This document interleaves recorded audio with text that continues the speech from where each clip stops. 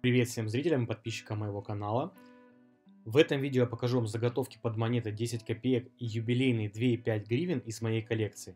А также Сим Загреба покажет две монеты из его коллекции. 50 копеек на заготовки из 10 и 2 копейки на совсем сторонние заготовки. Все показанные им монеты чеканили на монетном дворе Луганском станкостроительном заводе официальными штемпелями. И эти монеты оцениваются более чем 10 тысяч гривен. Если интересно, продолжайте смотреть. А еще в этом видео будет розыгрыш 100 гривен от партнера выпуска аукциона Виолити. Это место, где можно выгодно продать или купить монеты или антиквариат в вашу коллекцию. Условия конкурса будут в конце видео, ссылки на аукцион и на канал в описании. Ну что, поехали? 10-копеечные монетки. Заготовка. 50 копеек на заготовки из 10 копеек. Довольно интересная заказная монета. 50 копеек на кружке 10 копеек. А как это могло произойти? Их нужно как-то закрепить? Ну, это подсунули не, ту, не тот кружок специально для того, чтобы сделать такой брак. То есть это, это не могло быть случайно.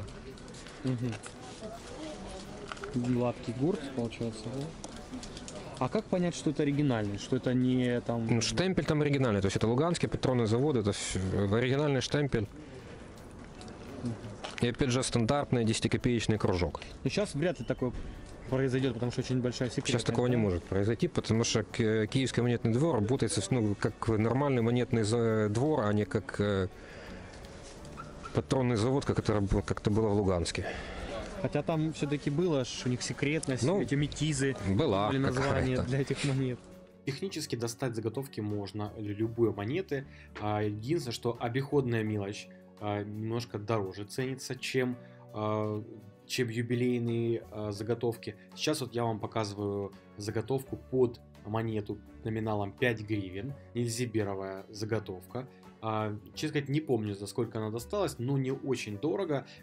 Дороже всего, конечно, ценятся заготовки под 50 копеек, 25 копеек, 1 гривну, которые сейчас реально можно достать, и бывает их выносят, либо они каким-то образом покидают территорию банкнотно-монетного двора Украины. Возможно, есть такая теория, что как-то в роллах их выносят, пакуют, либо случайным образом бракуются.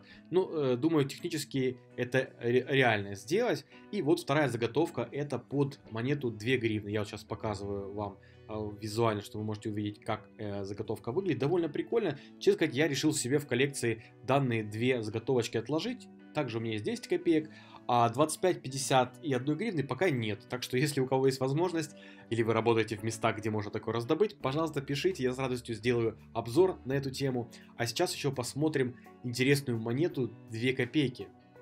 Ну и вот это такой более интересный брак, то есть на кружке непонятно от чего. Кружок большего размера, чем должны быть 2 копейки кружок большего размера. То есть вот это случайным, если э, двойной удар это случайный баг, вот этот случайным быть не может. Специально подсунули не тот кружок. Алюминиевый Луганские тоже, монеты да? есть там ударенные на советских серебряных, на полтиннике есть э, и так далее. Как понять, что это реально э, сделал Луганский патронный завод? Не, ну это видно Китай. по штемпелю, что ну, это видно. То есть взять лупу и посмотреть, там сопряжение э, изображений с полем, оно всегда разное. Конкурс заключается в том, что вам нужно угадать, за какую стоимость будет продан вот этот данный лот.